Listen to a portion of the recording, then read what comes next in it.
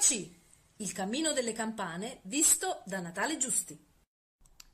Allora, caro Natale Giusti, il cammino delle campane, questa vitamina C ha rinvigorito, ha rinvigorito le campane oppure sono ancora un po' influenzate? Eh, purtroppo è ancora un campionato in agrodolce per Mm. le squadre della campagna. Ai, ai, ai. Ai, ai, ai, ai, ai. Questo weekend di Serie C eh, c'è stata una vittoria, una sconfitta e un pareggio. Eh, andiamo con ordine. Beh, sono coerenti almeno, un pareggio, una vittoria e una sconfitta, ci sta. eh. la, la prima eh, gara che si è svolta è stata quella di venerdì sera in anticipo. La Casertana, dopo tre sconfitte consecutive, dopo il cambio del tecnico, il nuovo tecnico D'Angelo, è andata a vincere a Cosenza per 3-0 con le Benissimo. Alfagheme di Galli e di Carpino. Eh, una gara eh, diciamo costellata da errori difensivi da parte della squadra calabrese che hanno favorito la vittoria della Casertana eh, che comunque ha interrotto una striscia negativa che ormai durava eh, da tre settimane. Eh, stessa cosa non può dirsi per la Juve Stabia che eh, sabato sempre sul neutro del pizzo di terza eh, in quanto il matto erboso del Romeo Mendi è in di rifacimento oramai da, da circa tre mesi e sarà pronto soltanto per la prossima gara interna il Ai, ai. 28 ottobre contro il Rende.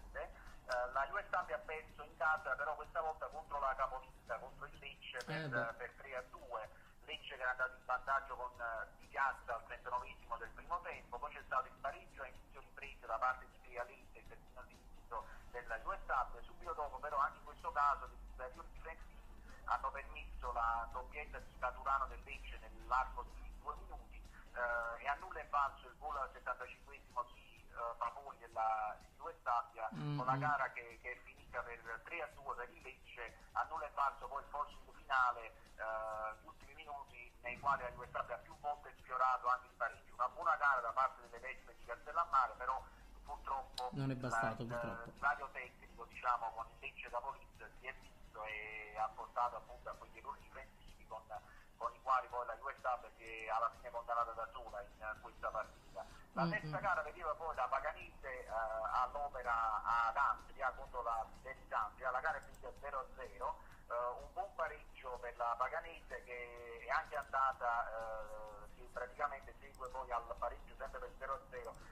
settimana precedente contro il Trapani. La Paganese è andata più vicina dell'Andria al gol, soprattutto nel corso della ripresa c'è stata una, un'occasionissima per il centravanti d'Alamo che ha fallito praticamente un, un eh, sorta di figure in movimento, la partita è finita appunto 0-0 e eh, la classifica al momento vede Lecce che sta volando a 19 punti, Eh eh, con il Catania al secondo posto al 16 e il Monopoli a 15 punti.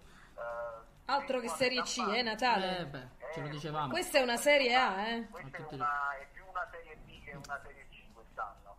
Eh, le squadre campane purtroppo per il momento sono relegate nei bassi punti, c'è la Stabia al 12 posto con 8 punti, la Casertana al 14 con 7 punti, la Paganese è terzultima al 16 posto con 6 punti. Il prossimo turno che si disputerà domani pomeriggio vedrà la Stabia in terra sicula eh, per due gare consecutive, domani con la Sicula Leonzio alle 14.30, la prossima settimana contro l'Agragap sempre eh, in eh, trasferta.